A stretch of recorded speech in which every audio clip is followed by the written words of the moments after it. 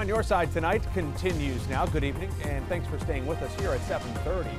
A lot can change in a relatively short amount of time. In just the past four years, the tone and vibe of a place here in Charlotte has undergone a dramatic shift. Let's wind the clocks back to four years ago, February 2019. Uptown Charlotte hosted the NBA All-Star Game. The city was alive with activity, vibrant with visitors, atmosphere, and things to do. Few places more than the entertainment hotspot known as the EpiCentre.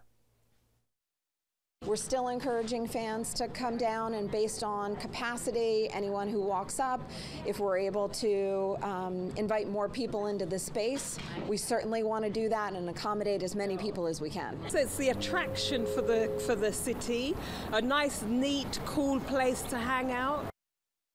Remember those days? Found along East Trade Street in Uptown, the EpiCentre felt like the place to be since opening in 2008. Crowds flocked for sports watch parties, St. Patrick's Day, and nightlife. But over time, the popularity of the site faded. Slammed by the COVID 19 pandemic, business around the EpiCentre slowed to a crawl just as crime intensified.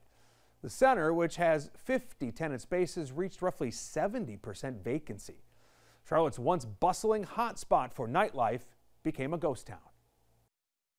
Everything closed down. Ain't no restaurant in there where you can eat at. It's sad how the city of Charlotte going down since the COVID. It's really, really sad.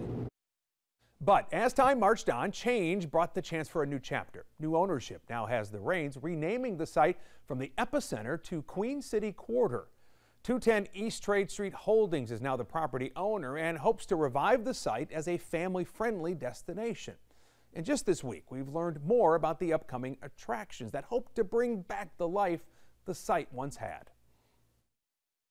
And it would be a space for people to come and congregate, not just for coffee during the day on your way to work, but also after work. You can come and enjoy like small plates and cocktails Four new tenants have been announced coming to Queen City Quarter. They include Portal 123, described as a rotating Instagram museum and immersive art experience. There's Nostalgia Hollow Company, a coffee and home goods shop. Cajun Market, a fast casual Cajun Creole restaurant. And finally, Super Icy Brothers, known for its alcohol infused Italian ice. On Your Side Tonight has been closely following this chronicle from the foreclosure of the EpiCentre to the announcement of Queen City Quarter. Last September, we spoke with Managing Director Compy Newman on the future of the site and why not all hope is lost for a resurgence in uptown business. As we look at this place, we look at the location, right? In real estate, location is everything. You are right in the heart uh, of a vibrant uptown Charlotte. Yet this place has struggled. How do you explain it? You know, it, uh, probably a number of factors have gone into that, but like you said, we got the Spectrum Arena and the Ritz and the Bank of America headquarters nearby, our offices next door. Um, properties can go through cycles for a number of reasons, but um, this one declined over the years and it's only 30% leased right now. And we're not going to dwell too much on the past. We're looking to the future. Yeah of what, like you said, this location can do potentially. Are there some lessons learned, though, from what has happened here that has sort of shaped what you want to do with this property going forward? Absolutely. Security is paramount. We've added a bunch of security cameras uh, that are going to help. We've got a great security staff. We've had multiple meetings with Center City partners, the police, and um, uh, the city. Mm -hmm and there's a commitment to uh, make this area secure. So um, we've seen great strides in the last couple of weeks and we think it's only going to get better. And when we activate this place and there are more people here, mm -hmm. that will change the feel of the property. So now the plan moves forward. So can the vision for Queen City Quarter meet reality and offer visitors a more fulfilling experience? Today, our Lowell Rowe spoke with James Laborde, Senior Vice President of Economic Development of Charlotte Center City Partners, on the plan ahead. There's 30,000 residents that live in Uptown, so it's not too surprising that uh, a, a, place like Queen City Quarter surrounded by all that, and you got the Spectrum Center and the future plans of that, that businesses would be coming back.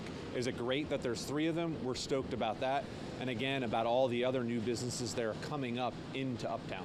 So each one of these assets that we have in Uptown and South End if they've been built for a while, at some point in time, they're going to be need to be repositioned, right? There's going to be investments needed, and here at Queen City Quarter, they're, they're going to work on new flooring, new facades, and those types of improvements. So those types of investments for a property to still be attractive, right, to visitors, customers, residents, and everyone that works in Uptown is really important. Whether you're an office building or a retail establishment, Queen City Quarter is a jewel right now, and it will be even more. And, and I think one of the main reasons why it's such a great asset right now is because of all the things that are around it. Again, Spectrum Center, light rail, and all the small retail that it, that encompasses it, all the people that are coming in to Uptown and South End to work, right, makes it a natural place for small businesses to thrive. And the investments that CBR are putting into it are great. Revitalizing the site could be a major boost for the health of Uptown. It's in a prime location near the light rail, also the Spectrum Center. CBRE is starting renovations to the property in the plaza later this spring.